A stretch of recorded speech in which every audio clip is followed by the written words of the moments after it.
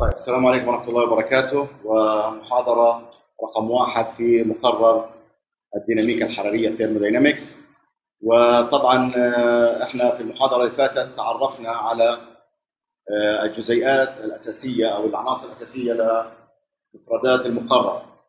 وقسمنا المقرر إلى ست وحدات. وطبعا كل وحدة بتكون مقصود مختصة بشيء معين. وطبعا تكلمنا عن آه، بعض من النبذه التاريخيه لتطور علم الديناميكا الحراريه. طبعا هذه النبذة التاريخية مهمة جدا لأنه ورد فيها الكثير من المصطلحات والكثير من المعلومات كلها حتيجي تفسيرها في آه هذا الدرس. لذلك حتلاقي تقسيم المحاضرات يشمل unit 1 هو الوحدة الأولى اللي عنوانه fundamental concept مفاهيم أساسية. ومن ثم. آه، حيصير في تدرج للمحاضره رقم واحد رقم اثنين رقم ثلاثة رقم أربعة لعين ما ننتقل إلى ال unit 2 وحنكمل تسلسل المحاضرات. طبعا هذا الترميز بفيدك كثير لما تتابع التسجيلات على اليوتيوب وتربطها مع آه، محاضرات الباوربوينت والسلايدات.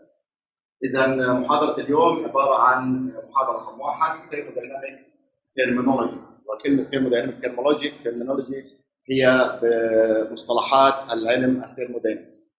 وكل علم إحنا بنتعرف عليه وبناخذه له لغة الحوار أو لغة المستخدمة في التعامل معه. زي لما تعاملنا مع علم ال mechanics.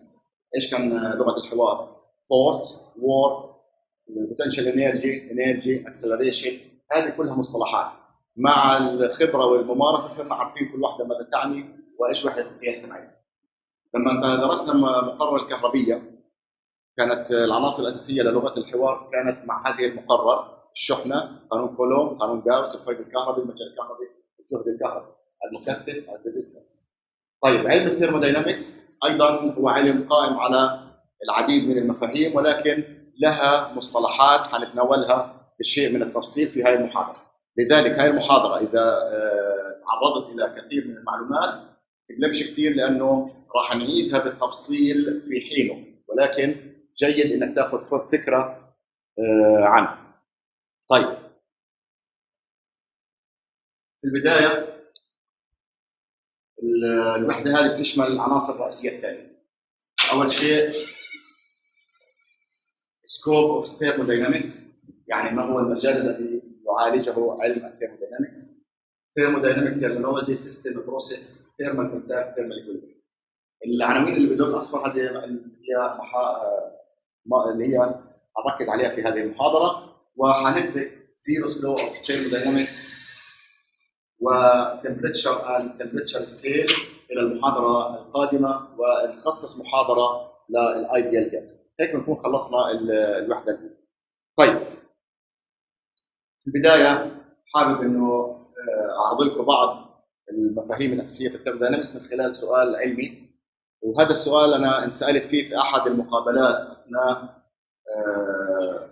عرض وظيفة علي في فيما بعد الماجستير. وكان المقابلين يعني مهتمين في علم ال thermodynamics فكان السؤال لو أنا جبت 2 cups of coffee لا coffee عند درجة حرارة واحدة. وحبيت أشرب ال coffee بعد خمس دقائق. ففي أحد الفناجين ضفت الحليب مباشرة وانتظرت خمس دقائق.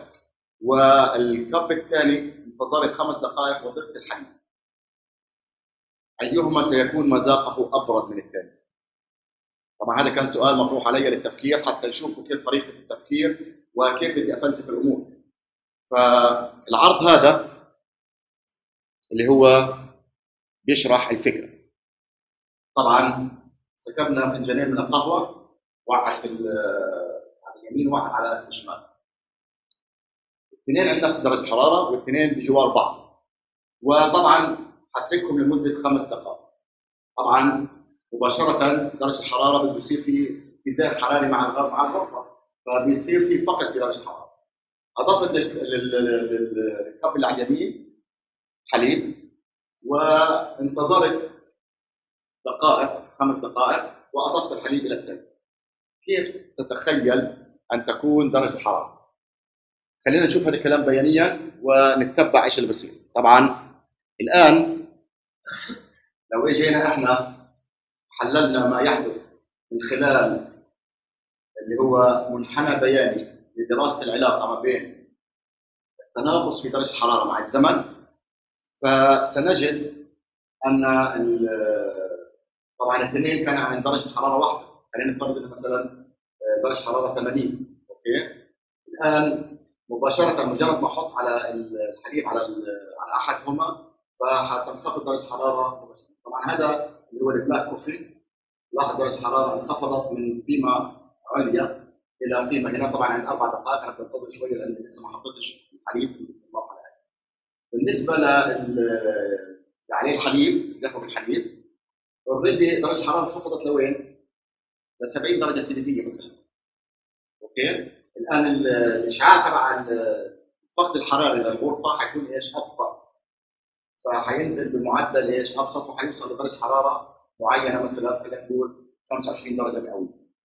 الآن عند الدقيقة الرابعة أو عند قبل أنا بضيف الحليب في المرحله هذه فبتنخفض درجة الحرارة أكثر فيبرد أكثر وبالتالي لو عملنا هذه التجربة في البيت حنجد إنه اختلف الوضع مش الاثنين عند نفس درجة الحرارة بالعكس حنلاقي إنه له الحليب بعد ما بعد مرور أربع دقائق ونص إنه صار درجة حرارته إيش؟ أبرد طبعا هذا بس بيعطينا فكرة عن تصور كيف ممكن نفكر في أمور الحرارة والتبادل الحراري مع الايش؟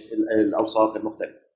طيب هذا بس كان عبارة عن إيش؟ للتنشيط ولمعرفة علم ال thermodynamics. بلامس حياتنا اليومية. لاحظ بلامس حياتنا اليومية. لذلك لما نتكلم على ال scope of thermodynamics إيش بنقول؟ طبعا إحنا عرفناه في المحاضره اللي لكن نعرف مرة ثانية. The study of thermodynamics is an experimental science concerned with the concept of heat temperature at macroscopic scale. لاحظ هنا إنه علم ال thermodynamics هو علم experimental يعني علم إجانا من خلال التجارب وقائم على التجارب وهو يربط العلاقة ما بين ال heat وال temperature at macroscopic scale. طبعا ترجمة macroscopic scale اللي هي الحالة أو المقياس الجاهري وعدنا حنفسر لكم إياها بمزيد من المعلومات. طيب علم ال thermodynamics يلامس حياتنا من حيث توليد الطاقة من حيث الطيران والحركة من حيث حركة السيارات وبيدخل طبعا في جميع أنواع الحركه لولا ال thermodynamics كان هذه كلها مش موجودة. تخيل حياتنا بدون وجود ال internal combustion engine بدون ال conventional and power station بدون ال refrigerator and air conditioning بدون ال rocket missile aircraft ships submarine vehicles لاحظوا إن كل هذه عبارة عن engines هي اللي بتقوم بعمل اللي هو نقل الحرارة من مكان لآخر وتحويلها إلى شغل حتى الاستفادة منه بأقصى درجه ممكن. إذا the principle of thermodynamics is used by engineers لتطوير machines for a human. فبالتالي علم ال thermodynamics يضع الأساسيات مين بيستفيد منها؟ المصنعين والمهندسين والمخترعين والمبتكرين. وبالتالي لو جيت أنا أتكلم ليش علم ال thermodynamics مركز على كلمة macroscopic scale؟ إحنا لما نتناول الفيزياء أحيانا بندرسها كحالة جاهرية وكحالة مايكروسكوبية. ففي عندي كلمتين macroscopic scale و microscopic scale. لما بنتكلم عن الجزيئات وعلاقتها بالمتغيرات الفيزيائية اذا إحنا بنتكلم على ال microscopic scale أما إذا كنا بنوصف الحالة الجاهرية لنظام أو لشيء معين إحنا بنتكلم عن حاجات يمكن أن تقاس وتدرك بالإحساس البشري. زي مثلا أتكلم عن حجم أتكلم عن ضغط عن درجة حرارة. لكن هل يستطيع أحد أن يربط ما بين درجة الحرارة وطاقة الجزيئات في داخل السائل أو ما بين الضغط وحركة الجزيئات هذه هنا ندرسها من خلال ال microscopic scale. لذلك behavior of matter can be studied by two approaches. One approach اللي هو علم ال macroscopic scale وهي تسمى الطريقة الجاهرية حتى الوقت هذه مطلوب عليكم اللي هي concern with the quantity of matter without concern of the event occurring at molecular level. أنا اللي في الحالة الخارجية. عندي وعاء فيه غاز ضغطته تغير الضغط لكن لم أتطرق إلى ما يحدث على المستوى الجزيئي كذلك the effect can be perceived by human senses and measurable by instrument and can measure وبالتالي دائما الحالة الجاهرية إحنا في عندي مقاييس كثير للحالة الجاهرية زي مثلا ال pressure ال volume ال temperature entropy enthalpy internal energy كل هذه كميات جاهرية لحالة الماده لكن في عندي كمان composition تركيب density viscosity surface tension refractive index color etc اللي مكتوبين باللون الأخضر عند ال internal energy هذول الوصف الجاهري في الديناميكا الحرارية. طبعا إحنا بنستخدمه في حياتنا اليوميه لما بدك توصف بني آدم أو شخص معين أنت بتعرفه عشان الناس تعرفه. فبتوصف بتقول طوله كذا وزنه كذا لون شعره كذا. انت بتستخدم خصائص جاهريه الخصائص اللي هي مايكروسكوبيك بدك تعرفها. بدك مختبر حد بيقدر يعرف عدد كرات الدم الحمراء اللي عنده؟ عدد حد بيعرف مثلا نوع فصيلة الدم من شكله؟ لا. بدك تاخذ إيش؟ عينة وتفحصها في المختبر. لذلك دائما وابدا الشغلات اللي بتقدر تفحصها بال human senses هذه تعتبر approaches by macroscopic scale أما ال microscopic فهي the effect of molecular motion is considered طبعا هذه لما ندرس الطاقة الحركية أو النظرية الحركية للغازات أو لما ندرس علم الميكانيكا الإحصائية حتى كنا بنتكلم عن المادة من وجهة نظر مايكروسكوبي. أما طول دراستنا في ال thermodynamics في هذا الكورس حيكون فقط الوصف إيش؟ الجاهري ويعرف الوصف الجاهري أو الماكروسكوبي. وعادة لو أنت بحثت في الإنترنت على ال microscopic ال microscopic approach حتلاقي شرح بمختلف الأمثلة والعناوين. أنا طبعا جبت لكم أقرب شيء لحياتنا العادية حتى ما إيش ما ندخلش في تفاصيل كثير most microscopic properties cannot be measured with a common instrument nor can be perceived by human senses. لا يمكن أن تدركها إلا بواسطة أجهزة قياس دقيقة جدا. okay؟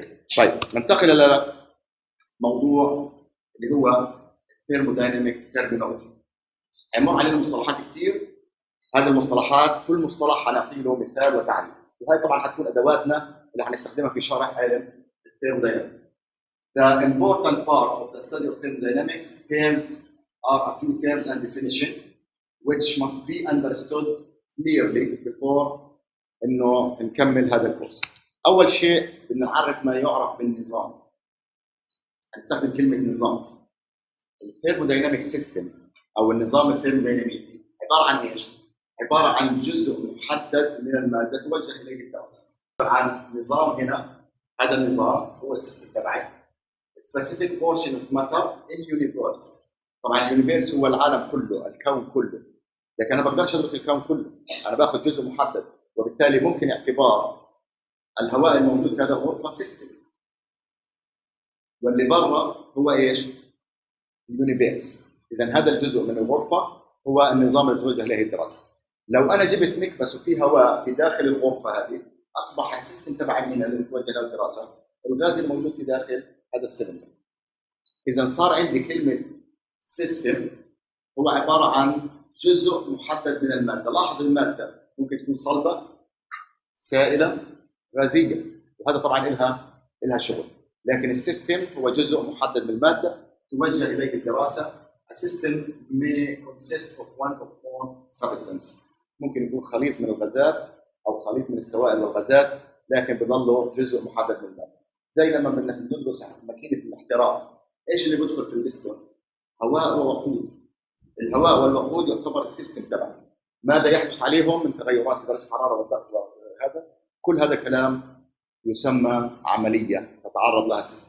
إذا أنت الآن عرفت حاجة اسمها ال system هذه طبعا اللي بدنا نحددها وندرسها مع بعض بنيجي الآن لكل شيء آخر غير ال system يسمى universe ال surrounding ال surrounding هو المحيط أي شيء يحيط بال system هو surrounding.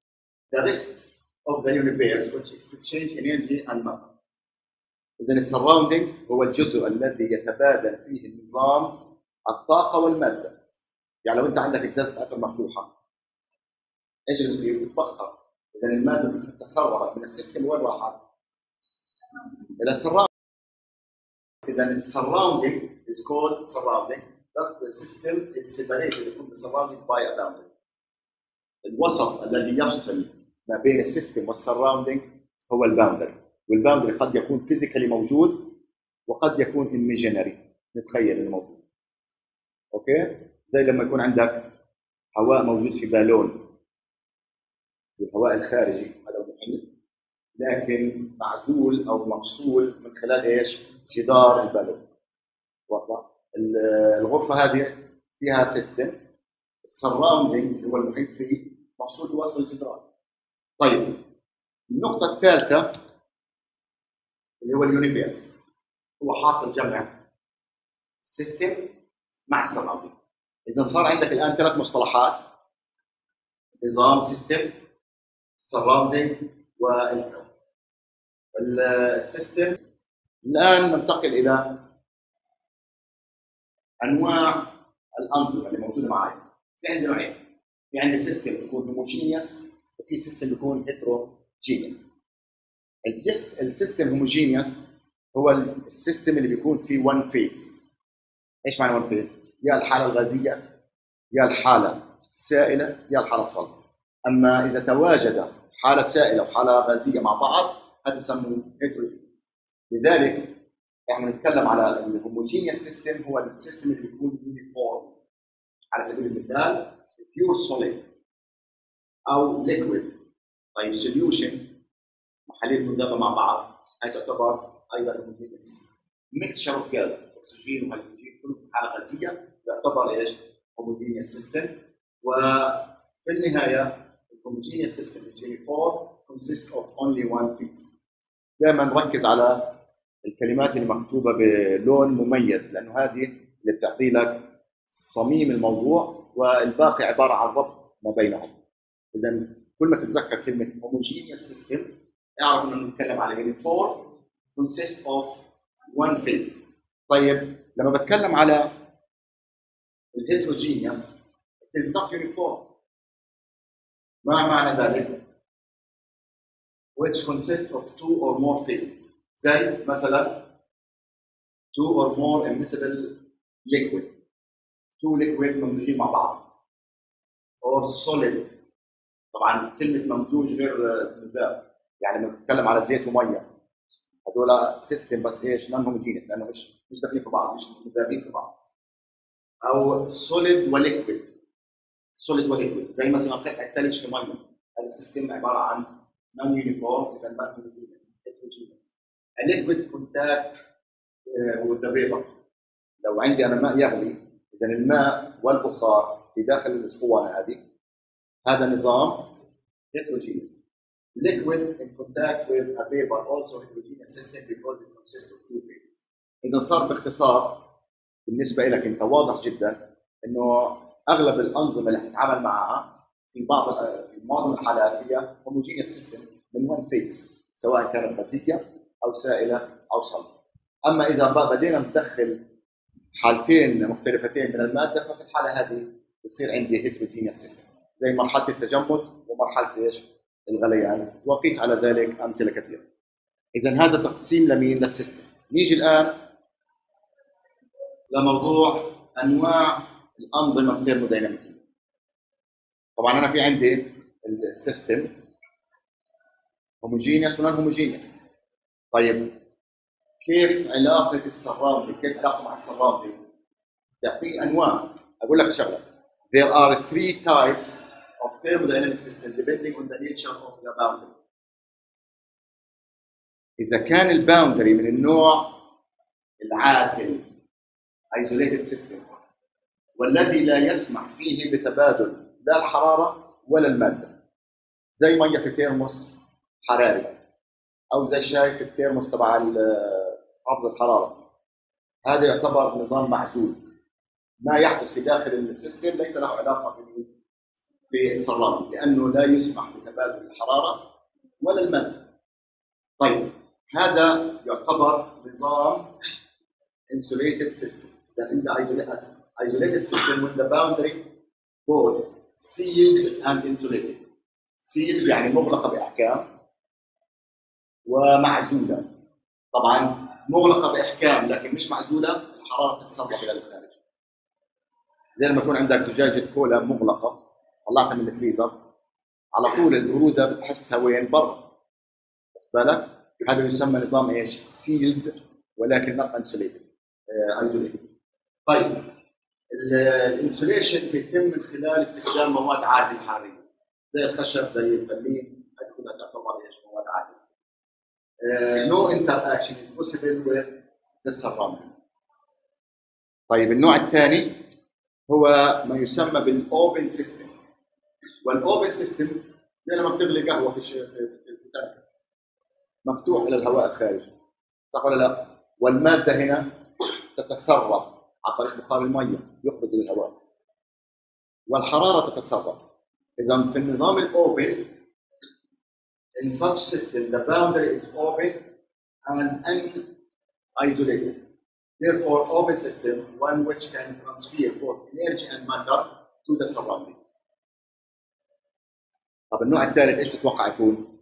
ال closed هي الحالة الوسط ال closed system هو نظام مغلق لكن الحرارة تتسرب أو ممكن يكتسب حرارة النظام المغلق لا يسمح بخروج المادة أو دخول مادة عليه لذلك في عندي boundary is sealed but not uh, insulated. Therefore, a closed system is one in which cannot transfer matter but can transfer energy from uh, from of, uh, in the form of heat, work, radiation. الحراره تتسرب من النظام المغلق من خلال ال radiation من خلال الحراره من خلال بذل شغل هذه الانظمه الثلاثه isolated open وclosed بنلخصهم مع بعض هنا في هذا المخطط هذا هو ال closed system هاي ال open system وهي ال insulated system إيش بتلاقي هنا؟ إنه ال boundary يسمح بتبادل الحرارة لكن فيش امكانيه للماده انها تتسرب. أما بالنسبة لل open system الحرارة تدخل وتخرج وكذلك الكتلة تدخل وتخرج. زي إزازة عطر مفتوحة. إيش بنلاقي؟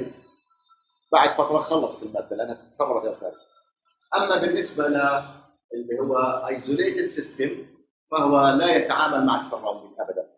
الخصائص الثلاثة المشتركة cannot transfer matter but transfer energy.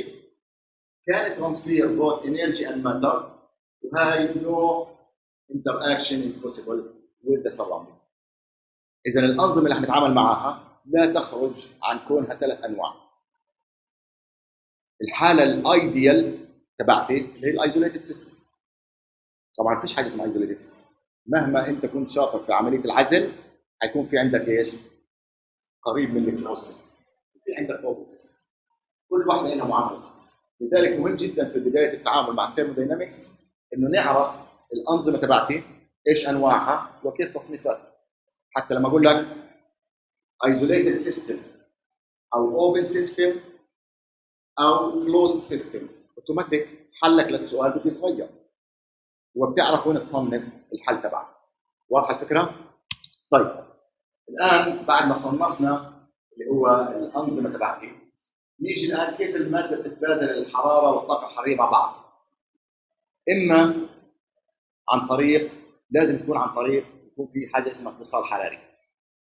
وهذا الاتصال الحراري نسميه thermal contact زي لو أنت توصل سلكين النحاس مع بعض عشان ما يبقى تيار كهربي برضه لازم يكون في عندي thermal contact بين two material هذا ال thermal contact متى بيكون two objects hot and cold are in thermal contact with each other إذا energy exchange can occur between them in the absence of work done. أي أن الحرارة تنساب تلقائيا. اوتوماتيك لما أنت تجيب معلقة سخنة وتحطها في مية باردة الحرارة تتدفق من الملعقة الساخنة إلى الماء البارد فترتفع درجة حرارة الماء وتنخفض درجة حرارة مين؟ الملعقة. لعل يصير عند درجة حرارة واحدة. هذا بنسميه thermal contact أما إذا كان لازمني ابذل شغل أي أن ما بين الساخن والبارد مادة عازلة فلا يسمح بانتقال الحرارة. لازم أبذل شغل حتى إيش؟ أضخ الحرارة داخل المادة العازلة. لذلك لا يسمى thermal contact إذا الشرط الأساسي لل thermal contact إنه يكون في عندي تبادل حراري بدون بذل شغل. بعد ما يصير عندي thermal contact بوصل لمرحلة بسميها thermal equilibrium طبعا كلمة equilibrium في ال- في الفيزياء مهمة جدا لأنها مرت معاكم وين؟ في الميكانيكا لما بقول mechanical equilibrium معناته الجسم ساكن وجميع القوى المؤثرة عليه بتساوي صفر. بالنسبة لل thermodynamic equilibrium الوضع مختلف. The thermodynamic equilibrium is said to be equilibrium when system in which macroscopic properties do not undergo changes with time. من أحد ال macroscopic properties temperature. اذا مادتين عند نفس درجة حرارة فهم في حالة thermal equilibrium. إذا قست درجة حرارة الملعقة بعد مرور فترة من الزمن ودرجة حرارة الماء بعد مرور فترة من الزمن ووجدناهم نفس درجة حرارة فمعنى ذلك أنا بستنتج انهم في حالة thermal equilibrium. ال thermal equilibrium متى يحدث؟ يحدث في حالة وجود اتصال حراري وفي حالة ما يكون ال net heat flow ال zero. إيش معنى ال net heat flow؟ أي أن محصلة التبادل الحراري بتساوي صفر.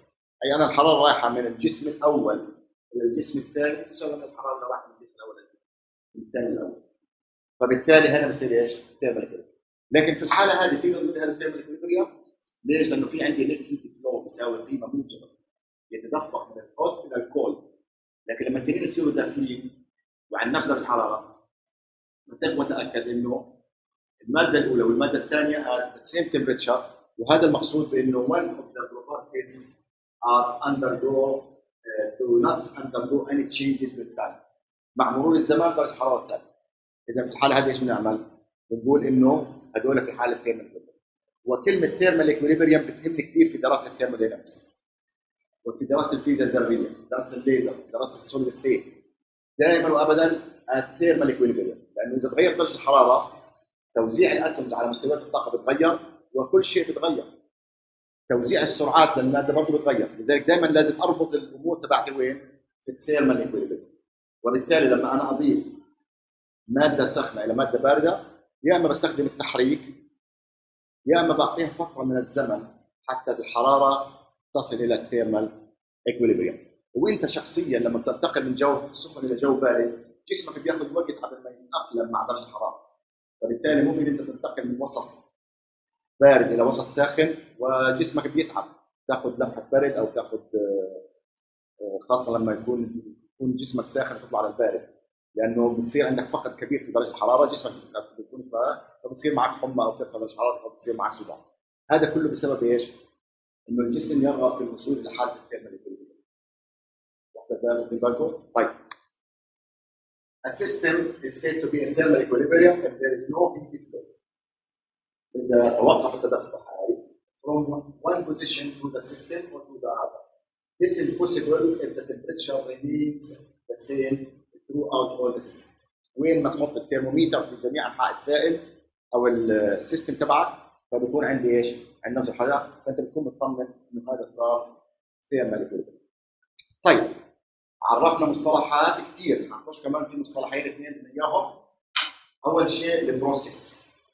أنا لما بكون عندي نظام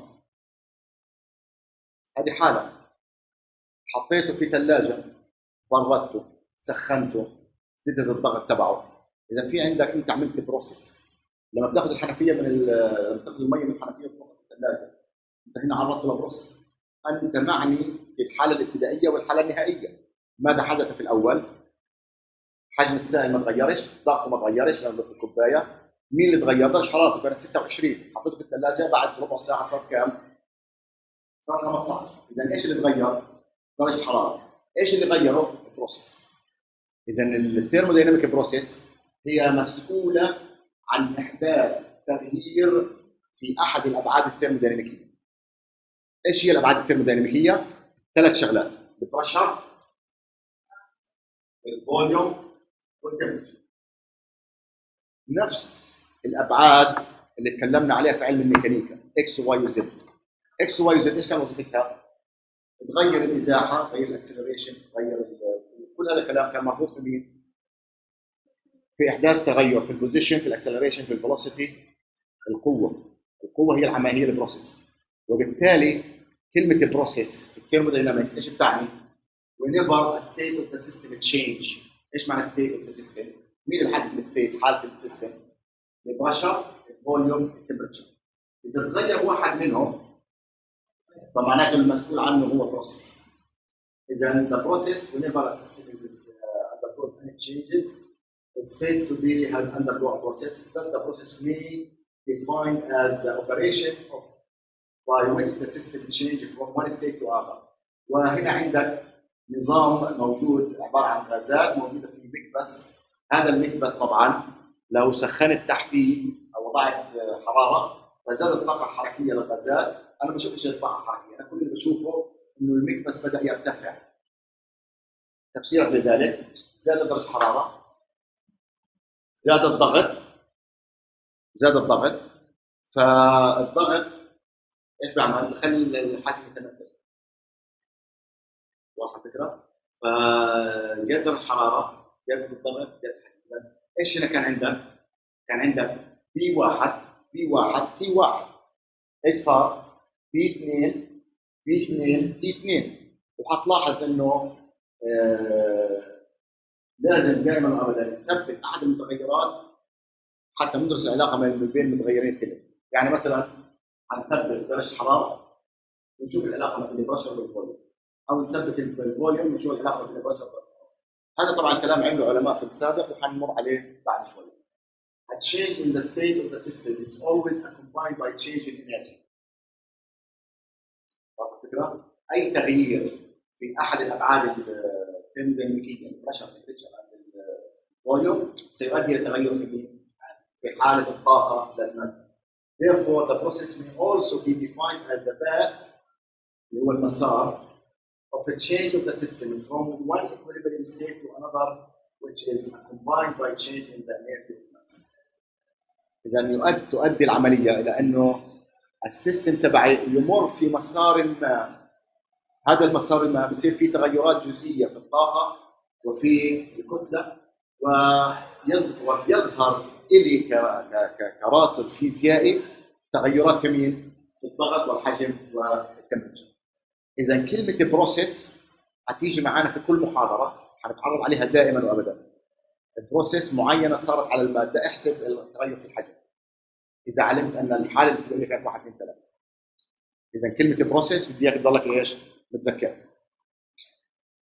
آه هذا عرض بسيط بورجي لك مثلا آه أنواع ال processes طبعا إحنا مش حنترك الأمور ال process وخلص في عندي حوالي ست أنواع من ال processes وكل process لها فيزياء خاصة فيه. في البداية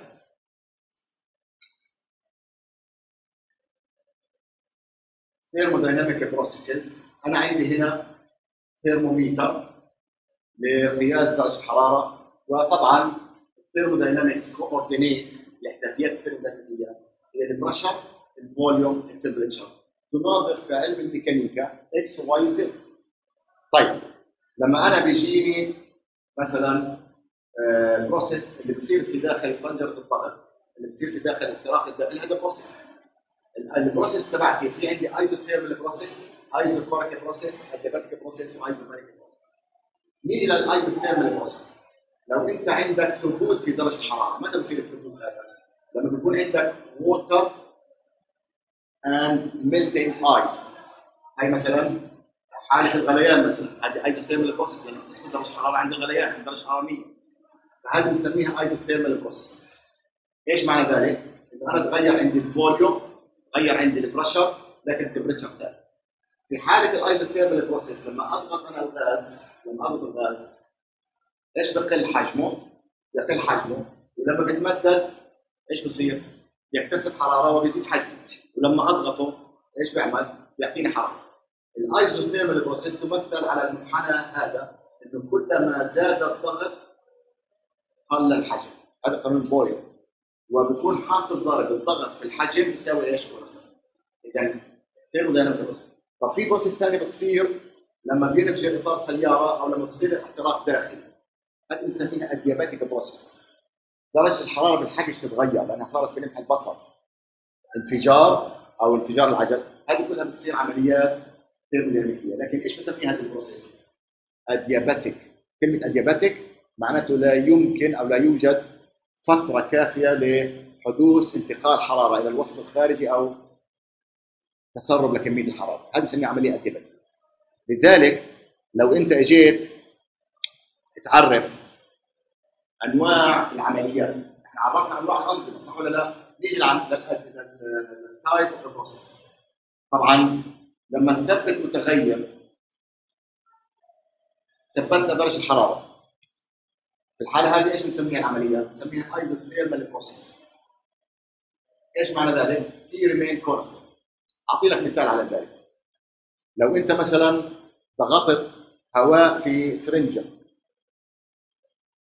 المفروض وأنت بتضغط الهواء تزيد درجة حرارته بس لأنه الجدار تبع السرنجة يسمح بتبادل الحرارة مع ال surrounding فكل زيادة درجة حرارة تتسرب برا فبداية العملية عند درجة حرارة الغرفة وانتهت بعملية عند درجه حراره الغرفه هذه بنسميها isothermal process وبنمثل هذه على منحنى اللي هو الضغط والحجم. هذا طبعا من المنحنيات الشهيرة تبعتنا. عملية ال isothermal process بتكون المنحنى اللي باللون الموف هذه بتكون عملية تمت at constant temperature. طيب لما العملية تكون at constant pressure إيش معنى constant pressure؟ لما انت تغلي ميه في وعاء مفتوح للهواء الخارجي إيش بتزيد؟ بتزيد درجة الحرارة صح ولا لا؟ وبالتالي آه، عند ثبوت الضغط كيف بمثل عملية ثبوت الضغط؟ إن الضغط لم يتغير هو خط يوازي محور الفوليوم عند ثبوت الضغط فإيش بيكون عندك هنا؟ الحجم يزداد ودرجه الحرارة بإيش؟ تزداد. طيب ماذا عن يعني جيب انت غاز وخلي ضغطه ثابت، كيف تخلي ضغطه ثابت؟ خليه مفتوح. كل ما تسخنه حيتمدد ودرجه حرارته حتزيد، حيتمدد ودرجه حرارته تزيد. لو انت حصرته في مكان مغلق خليته حجم ثابت هاي تسمى عملية isochoric فبصير الضغط يزداد الضغط عند ثبوت الحجم وعند الحرارة في النهاية طبعا إذا زاد الضغط عن حد معين تنفجر الأمور فالعملية اللي بتتم عند ثبوت الحجم بنسميها ايزو وفي بعض الأحيان بيسموها iso volumetric يعني ايزو معناتها ثبوت وطبعا ثابت لاحظ إن الحجم ثابت والضغط هو المتغير. طيب العملية الرابعة هي عملية بنسميها ادياباتيك بروسيس. العملية الادياباتيكيه وهي التي تكون فيها الانظمه معزولة حراريا. لكم في أحد الأنظمة حتكون معزولة. إيش معناتها معزوله؟ لا يسمح بتبادل الحرارة ولا خروجها. ومين هو النظام الوحيد الذي لا يسمح بتبادل الحرارة؟ ال isolated system لأن ال open system وال closed system إيش بيعملوا؟ بيسمحوا بتبادل الحرارة. النظام الوحيد الذي لا يسمح زي مية في التيرموس أو مية في مسعر حراري هذه تسمى العملية التي تجرى adiabatic أي أن الحرارة لا يسمح لها بالخروج ولا يسمح للحرارة بالدخول. ولاحظ هنا أنا بقصد على كمية الحرارة وليس درجة الحرارة. في فرق حنشوفها بالكلام في المحاضره الجايه. لذلك في عندي النوع الرابع. طيب النوع الخامس هو ال cyclic process إيش معنى cyclic process؟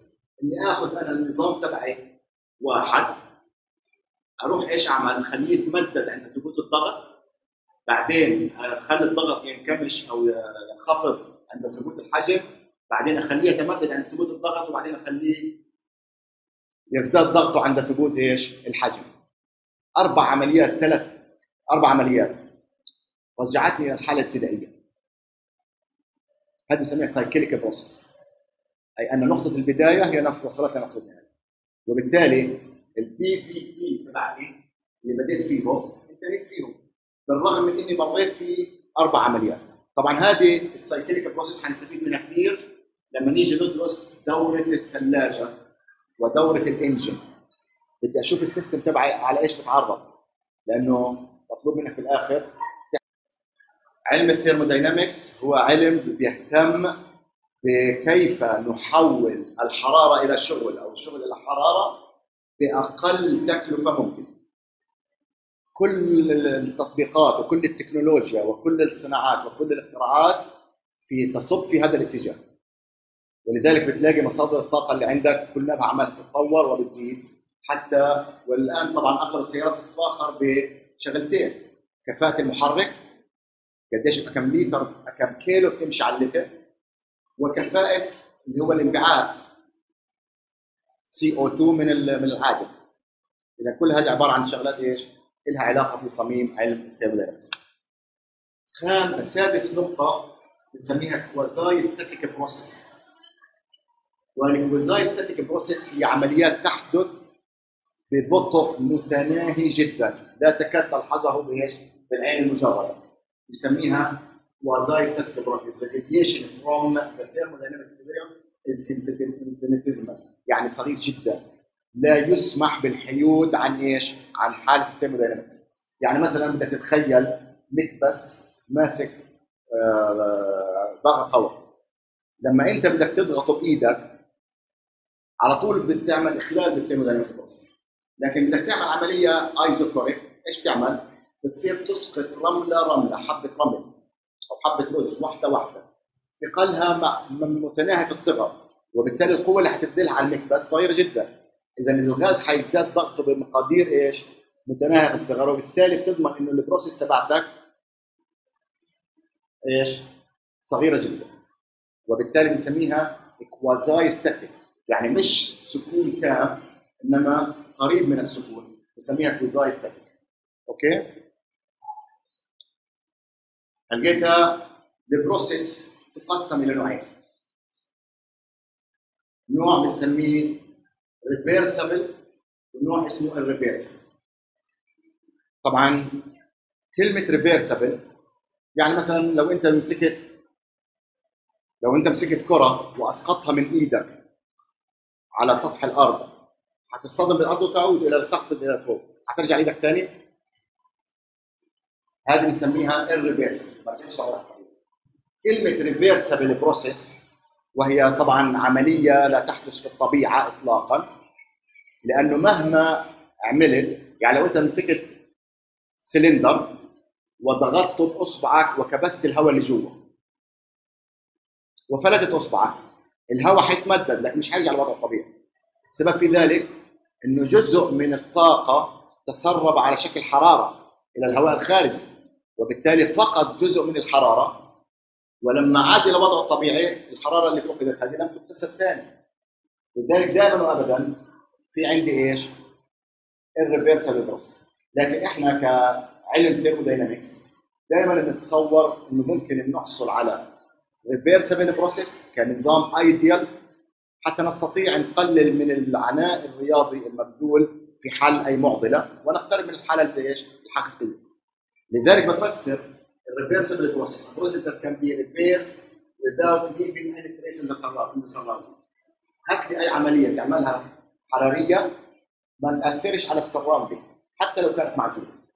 ولذلك في حالة ال reversible process إذا أنا طردت الغاز وتمدد الغاز حينخفض لما يتمدد الغاز حينخفض الضغط.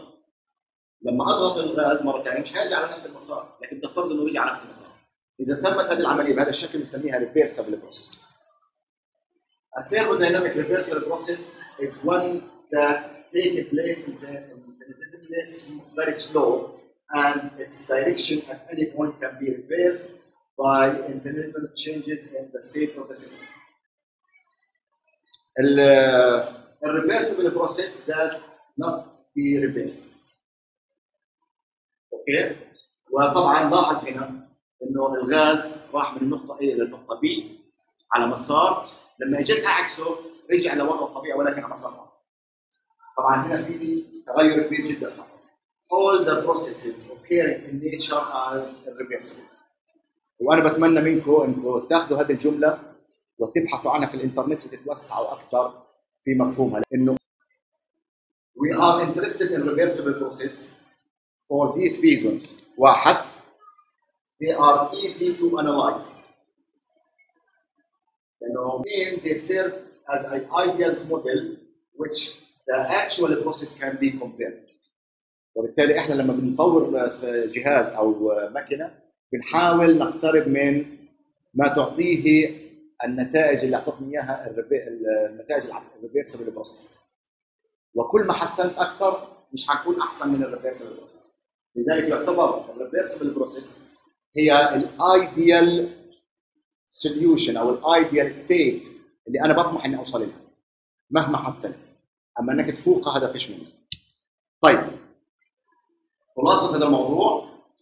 درسنا ال system surrounding universe process process thermal contact thermal هذه الخريطة تشمل لك كل الحاجات ال system homogeneous و heterogeneous عارفينها ال system isolated closed open هنا نوع ال system في داخله هنا علاقته مع الوسط المحيط. وال surrounding اللي هو المحيط تبعه ال universe طيب ال system بيتعرض لمين؟